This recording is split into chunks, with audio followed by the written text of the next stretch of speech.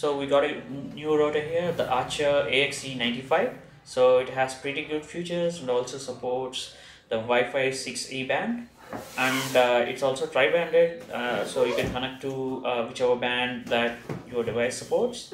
And also it uh, also has MIMO features and you can just stick to uh, whichever band it's good for gaming and stuff. So I got this on Amazon like 15k during an offer so uh, depending upon if you have Wi-Fi 6E devices present so it's it's what the what the uh, spend. So uh, let's see how how it looks. So ba- I basically bought this to uh, take advantage of a, a, a decent Wi-Fi connection I've got. So let's dig in. So um, I think this is the uh, cables box. So uh, let's keep it aside. I, I, I think they gave a power adapter and a uh, cat cable. Uh, so I think these are the warranty cards and stuff. So uh, setting up 6 6E uh, and a quick installation guide uh, that will help us later.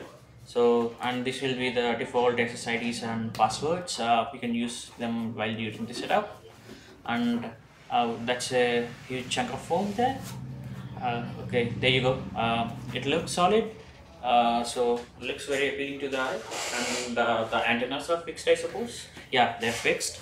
And uh, uh, you can just get this up. Okay. It, it's it looks pretty chunky. Uh, it's uh, you need a, pretty large space to, to place this up rather than an average router so there you go. The ethernet ports one is 2.5g and another is 1g and the usb port also um, it's pretty chunky. Um, uh, maybe around a kg or so. Uh, nothing else. That's all.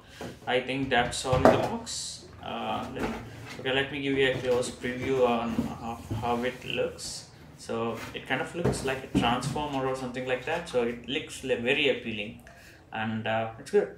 Yeah